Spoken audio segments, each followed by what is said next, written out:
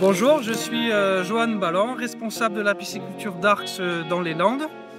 Nous, euh, la spécificité de cette pisciculture, c'est que nous, on est pisciculture pilote sur Aqualand. C'est-à-dire qu'on met en place des projets.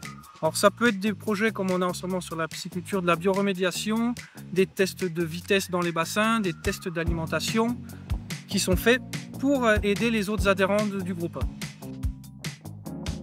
Notre objectif, c'est de tendre vers la pisciculture de demain.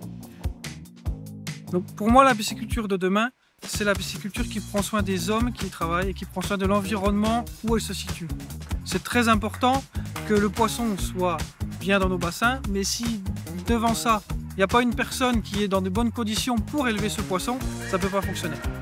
On s'est mis en place plusieurs types d'objectifs sur du SST, sur du bien-être animal, sur de l'optimisation de la ressource, sur l'optimisation des consommations électriques, oxygène, sur l'optimisation des rejets dans l'environnement.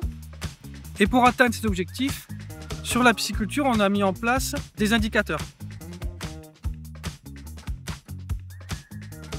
Ce que, ce que je, ce que je dirais à une personne qui aimerait faire ça, c'est qu'il faut aimer travailler avec du vivant dans une pisciculture ou dans tout autre élevage où on travaille avec du vivant, c'est jamais le même planning tous les jours. Il peut toujours avoir un truc qui s'ajoute. Euh, on est, forcément, on est dépendant des conditions climatiques.